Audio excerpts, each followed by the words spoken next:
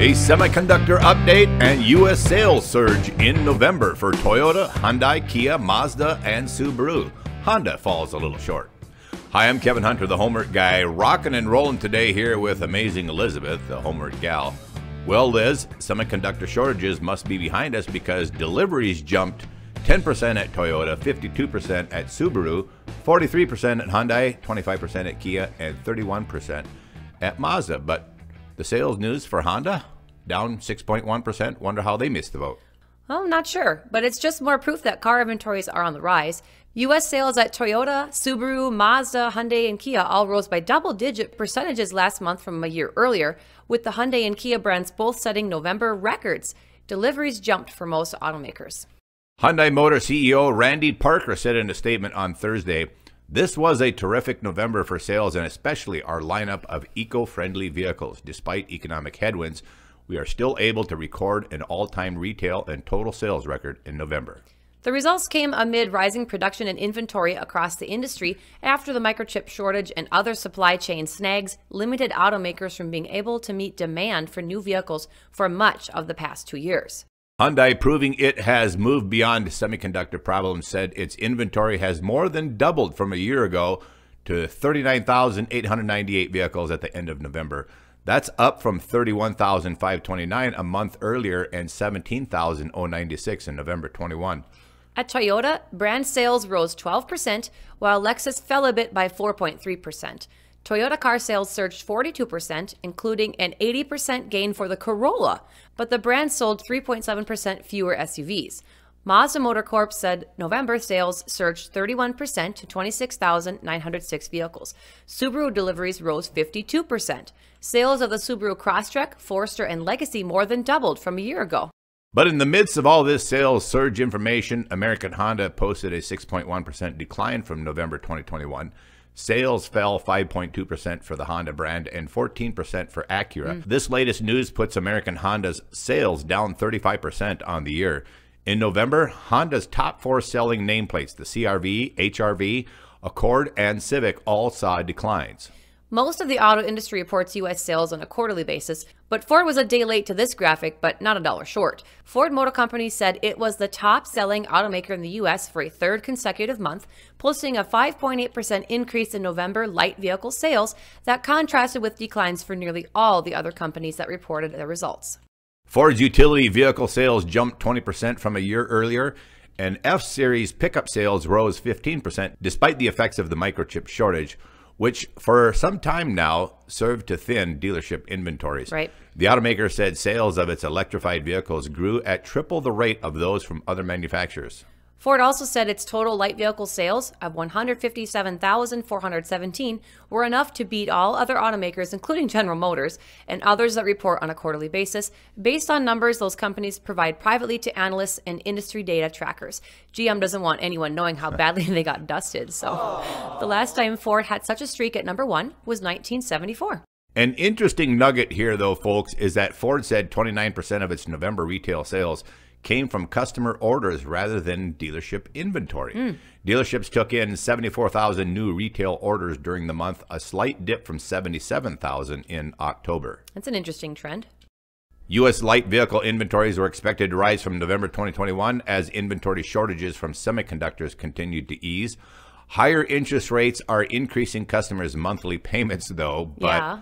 The good news out of this is that dealerships are now selling fewer vehicles above sticker price, 41% in November versus 50% in July, according to JD Power and LMC Automotive.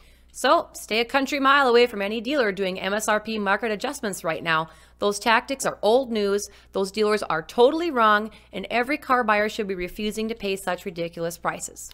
That's right. Thomas King from JD Power said November results demonstrate that vehicle production is continuing to improve with available retail inventory exceeding 1 million units for a second consecutive month yeah. and a larger share of manufacturers production being allocated to fleet customers. That's kind of big news. Yeah. On the retail side, demand continues to exceed supply as evidenced by continued strength in transaction prices, retailer profits, inventory turn rates and minimal manufacturer discounting.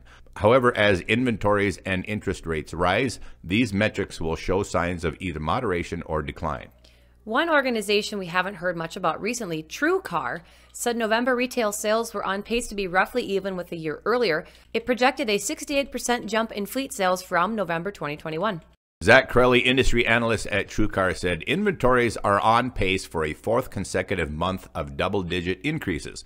Consumers, however, continue to face affordability challenges and high monthly payments, keeping many on the sidelines, which is where you should stay, Right, by the way, you guys.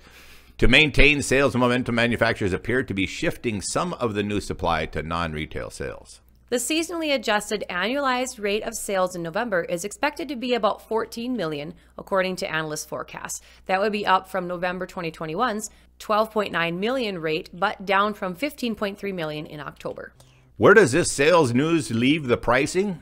Well, new vehicle prices remained at record levels with the average transaction price expected to reach 45,872, a record for November and a 3.1% increase from a year earlier, JD Power and LMC said.